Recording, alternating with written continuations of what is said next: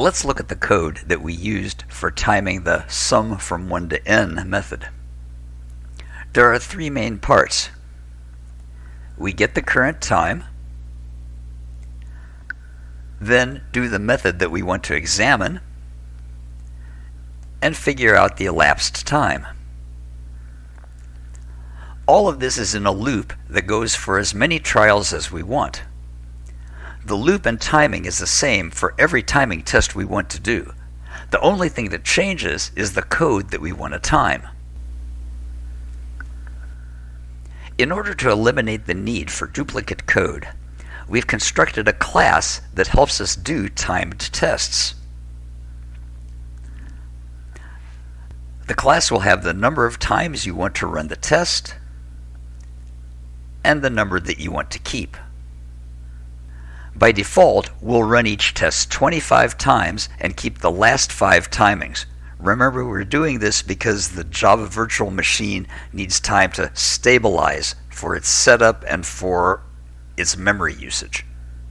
If you're not happy with the default values, you can use this other constructor to change the number of trials to run and the number of results to keep to anything you want. And here are the getters and setters. Nothing new to see here.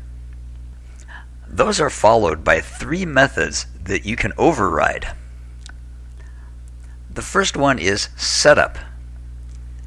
Some tests may need to set up variables or files, and you can do this when by overriding the setup method. The do test method will do the actual test that we want to time. You'll definitely want to do something in this method when you override it. After each trial, you may need to get rid of some of the objects you created during setup. That's what tear down does. For example, if your setup method created a file, your teardown method might delete that file if it's no longer needed. This method is where the magic happens in run test.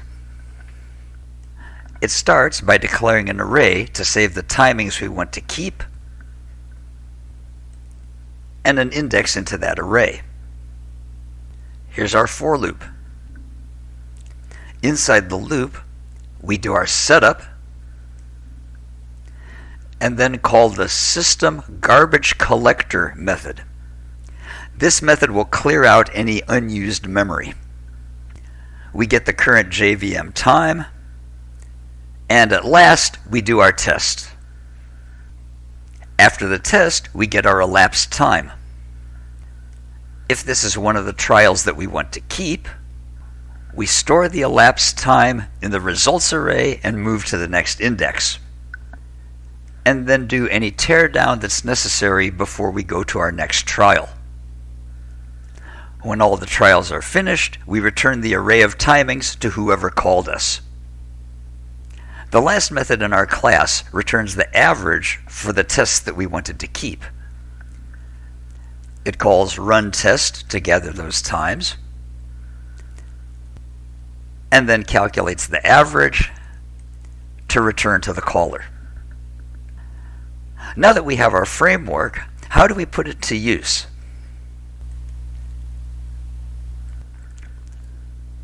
Let's look at that first anagram method from section 2.4.1 in the book.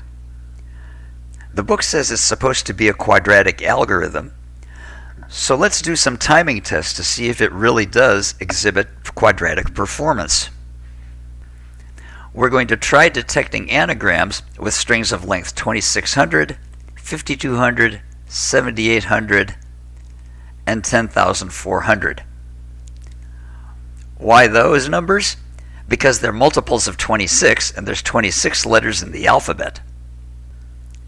Let's set up the test code in the anagram test class, which extends our time test framework. We'll need to have two strings that we want to compare. And we might as well make those private.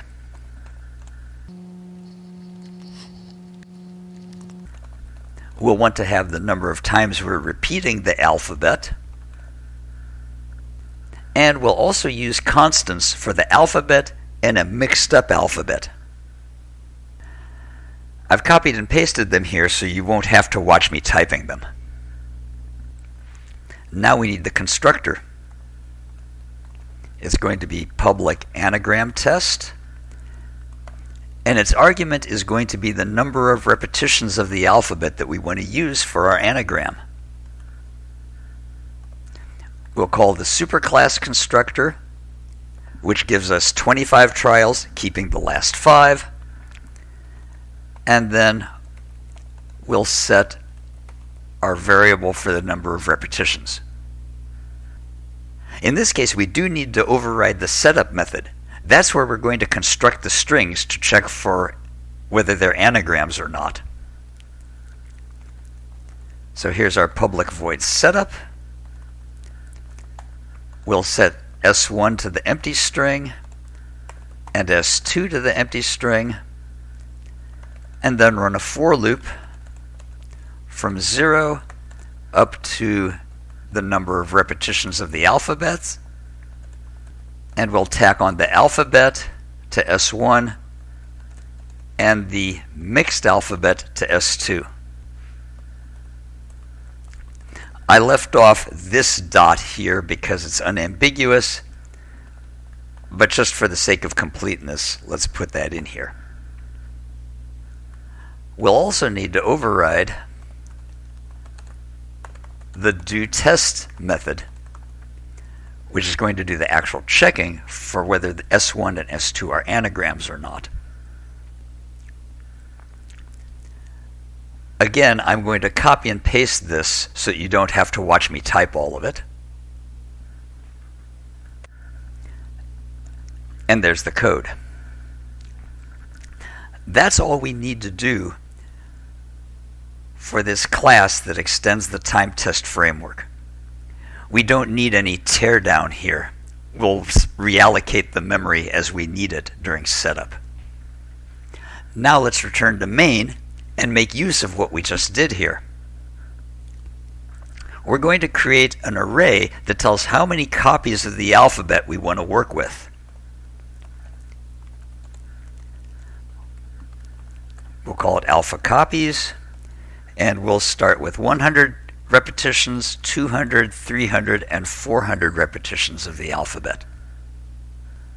Now set up a loop for each of the copies in alpha copies. We'll create an instance of our anagram test. And it'll be a new anagram test with the number of copies of the alphabet we want. We'll run the test and get the average time for that many copies. our average time becomes test.getAverage test time. And then we'll print the result using printf. So with our length and the time. That'll be copies times 26 and our average time. Let's save that and hope I've typed everything correctly. Let's compile it. It says the compilation finished successfully. And now let's run it and see how this algorithm performs. So when I doubled the length from 2600 to 5200, I got four times as much time. Three times as long took about nine times as long, and four times as long took about 16 times as long. So, yes, this version of anagram detection is order n squared. It's a quadratic algorithm. So, again, here's how to use our time test framework. In the time test framework, you create any variables that you might need. Make a constructor to set the parameters the way you like them. If you need a setup, override it and put it in. You'll always want something to override do test because this is where you're going to actually be testing things. If you need a teardown, you can also put that in there. And then in your main, you create a new instance of this test that you just wrote and get its average test time and save it in a variable where you can print it out later.